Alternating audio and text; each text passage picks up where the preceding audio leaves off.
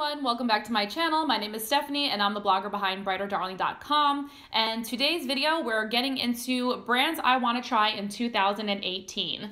I saw this video from Samantha March. She is a super awesome beauty blogger here on YouTube. Um, I've been following her on Instagram for a couple years now. I watched her kind of grow a lot over the last year. So I love her ideas on her YouTube channel. She picks up some great topics. So if you are um, looking for some new channels to watch, go check her out.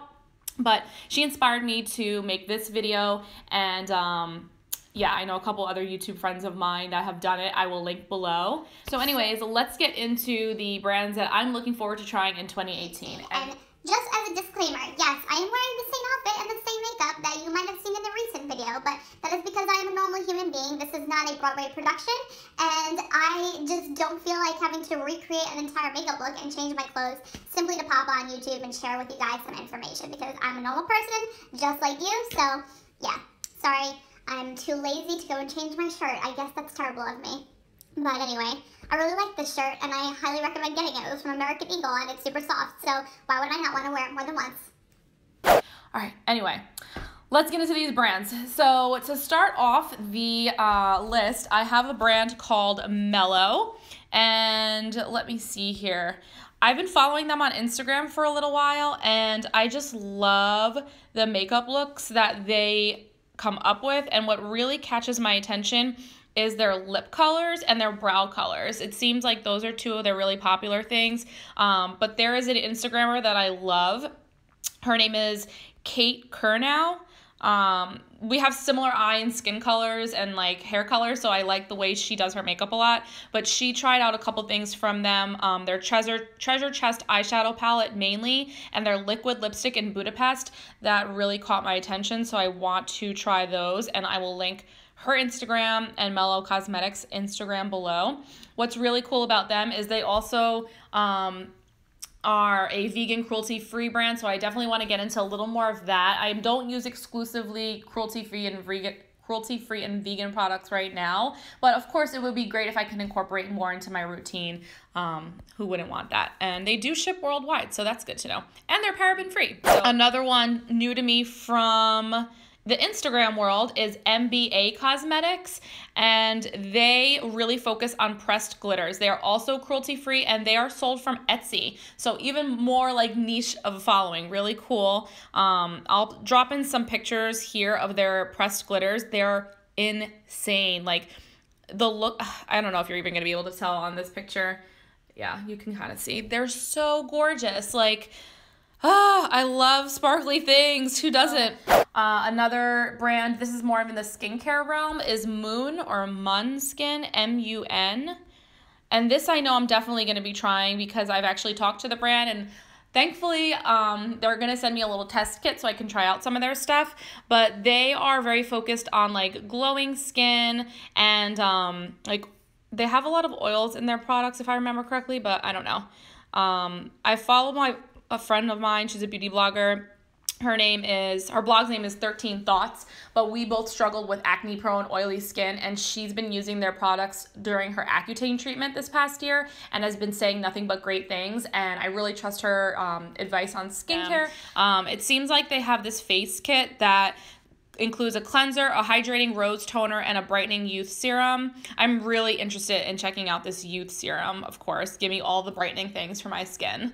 Um, very much like a holistic approach to the skin. So, yeah. Um, another one organic, vegan, cruelty free, natural, and sustainably sourced. So, really interested in going on that route this year.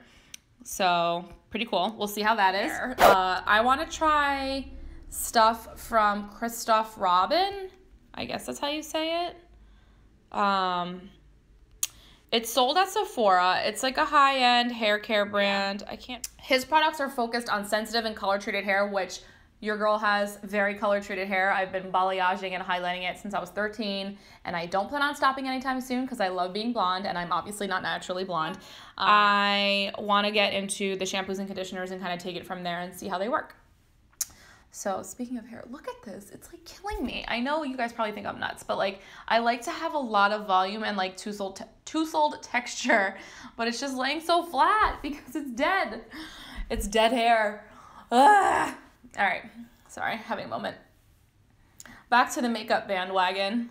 God, this hair. It's killing me, kids. Um, all right, I want to try some products from some pricier eyeshadow brands this year because you guys I am an eyeshadow, eye makeup junkie. That's my love. But my heart lies in all things eye makeup. Like, send me all the eyeshadow, eyeliner, mascaras. Send it all to me. I will love it. I will purchase it over and over again. There is no limit to the amount of eyeshadows I can have, apparently. I just can't stop. It's a problem. So, Natasha Denona makes stunning, stunning eyeshadow palettes. They just seem so buttery and creamy and like. I know today I'm using um, the Tarte chrome paints on my lids, which I will link to another video that I'm using these for, you know, you guys to see on video. But the Natasha Denona pressed eyeshadows remind like seem like they apply just like this, but like a whole palette full of creamy shadows like that. So um, I've been dying to try them. They're just so expensive. They're like I think the cheapest I think she makes five pan palettes that are in the 50s, but I really want to get the, I don't know if it's called like the star palette. I will link it and like show you guys a picture of it here. I think it's like $130. It's something stupid expensive, but no one that I've seen has said anything bad about the quality of the products, minus the fact that the price is high. Um, but if you purchase off of Beautylish, you can split any payment over a $100 into three, like over three months. So um, I'm looking into just doing that so it's a little more economically um, comfortable. So I might try doing it that way. The other brand that's very expensive in the eyeshadow game is Viseart, Viseart, however you want to say it. I think it's Viseart. I don't know but I know Emily Noel raves about them, Stephanie Nicole again raves about them, and everyone that I've read a review on say that they are beautiful. Now, I've swatched them in Sephora. They seem extremely pigmented, barely any fallout. Like, they do seem like very high quality eyeshadows, but they are so expensive for the amount of product you get. But again, on the flip side, I see that you don't need a lot to get the level of in, um, intensity and pigmentation that you'd want. So you probably don't need to use a lot, so it's gonna last you a long time. All right, we're back. I had to change my battery, and I think the lighting is gonna be different because the sun is at like its full capacity. And my camera is dying, my computer's dying, everything's falling apart, so I'm gonna finish this up fast. Viseart. So yeah, I'm gonna pick on of the Theory palettes is what I think my um, choice is going to be there because I think that's the best way for me to kind of just try them out and not spend a million dollars. Next brand on the more affordable landscape is Flower Beauty. This is a brand that was sold at Walmart for a couple years. It's owned by Drew Barrymore, and um, it always was attractive to me, but it was a little higher of a price point, especially at Walmart. I think this brand would have done much better in Target or Ulta, but for whatever reason, it was retailed at Walmart, and now I don't believe it is sold at Walmart in stores any longer. You can only get it online. So, and now that I can get it at um, Ulta, I can at least use reward points. It's definitely going to be on the drugstore side, so you can use your coupons. Um, I really want to try their loose powder. They make like a loose setting powder. Casey Holmes talks about it for a long time on her channel, and her and I obviously we share the same problem with the texture and the not great skin so if she likes it i totally want to try it i also want to try their beauty sponge seems very squishy and awesome and affordable so i want to try that and I want to try like a blush and bronzer duo. They used to have those at Walmart, and that was something that I was always very attracted to. And they make these um like pigment shadows that I've been I've always was looking at I would always look at and never get. They make one that's like I think it's called like cinnamon and it's like a warm brown bronzy brown typical of my life. But these are things that I've had my eye on from them that I'm really interested in trying now that they're going to be somewhere that I feel like it's smart to spend my money.